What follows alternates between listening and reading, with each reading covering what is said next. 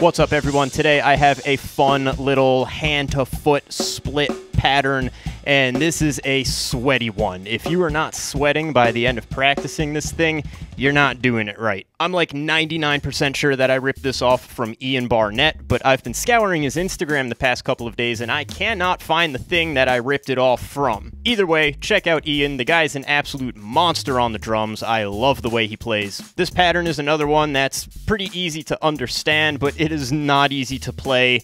It's exhausting. This one has humbled me, but it is a lot of fun once you get it down. And I mentioned that it's built from these hand-foot splits, so we're to play the bass drum in between every time we hit with our hands. The pattern has six parts to it, and the sticking is both hands together, then kick, right, kick, left, kick playing the kick in between every stroke of the hands. And whenever we play both hands, the right hand is always going to be on the ride cymbal, and for the purposes of this video, the left hand will play on either the floor tom or the snare drum. To get this off the ground, I'm going to demonstrate using only the bass drum, floor tom, and ride cymbal. I'm going to go really, really, really slowly, and all together it sounds like this.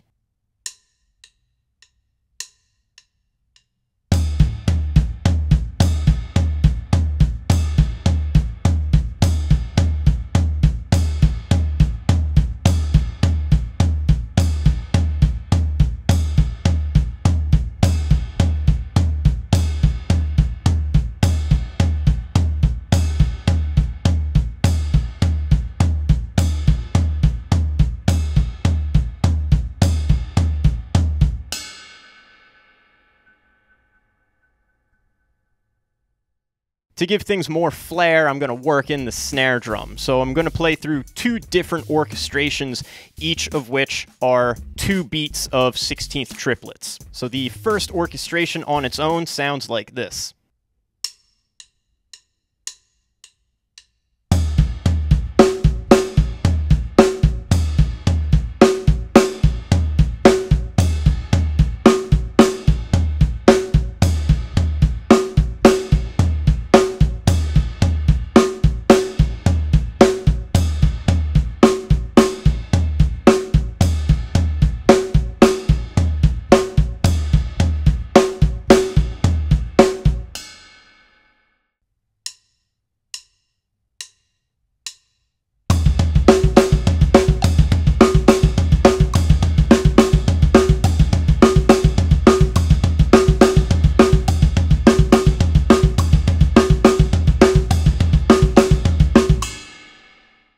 The second orchestration on its own sounds like this.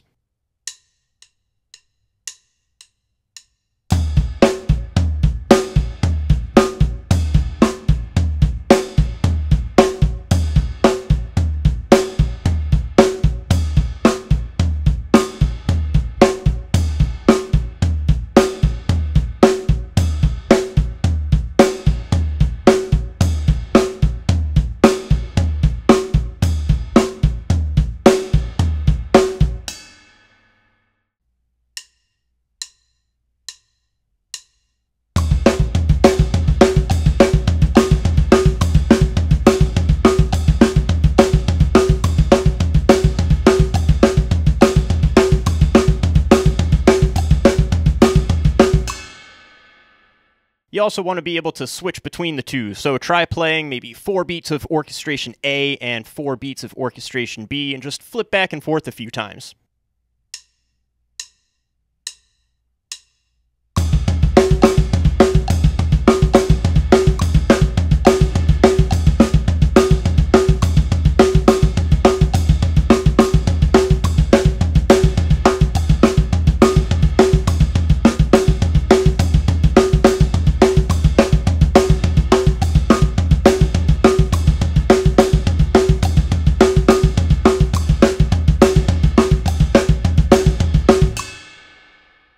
Work this pattern into the context of a drum fill, I'm going to add a little something to the beginning of the phrase, and then I'm going to modify one thing at the end of the phrase, which will make it easier to get back into a groove coming out of the fill. To get into the fill, I'm going to play a beat of 16th triplets on beat 4 just before going into the fill, and this is going to behave as a sort of on-ramp. It sets us up to play both hands together on beat 1.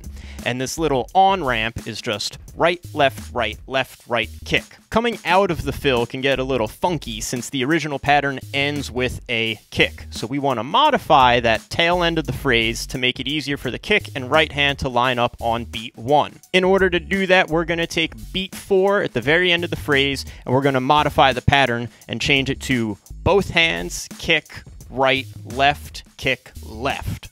Now we end with the left hand, which makes it much easier for the right hand and kick to align on beat 1. Altogether, we'll have a combination that is two measures of 16th triplets plus that one extra beat to get into it. And I'll use orchestration A to play through the first measure and orchestration B to play through the second measure. Altogether, it sounds like this.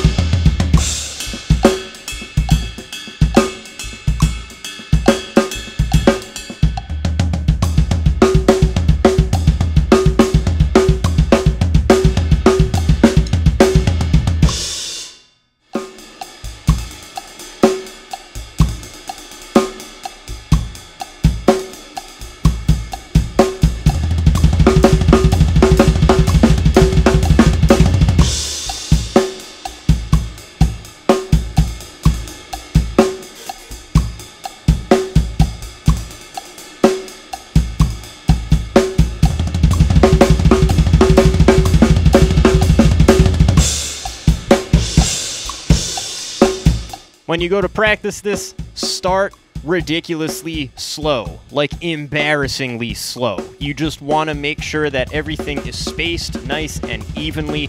Otherwise, this thing just turns into a hot, sloppy mess, and that is not cool. And if you're persistent with practicing very slowly over a very long period of time, eventually the speed will come to you. It takes time, though. It takes a lot of time. Be patient. If you like what you saw in this video, check out my Patreon page. Your support grants you access to transcriptions for this video, as well as transcriptions for all my other lesson videos. And follow me on Instagram, at DrumMerhar, to see more videos of my playing. I also teach private lessons both in person and remotely, so if you'd like to study with me one-on-one, -on -one, send me a message and I'd be happy to set something up. As always, thanks for watching and see you next time.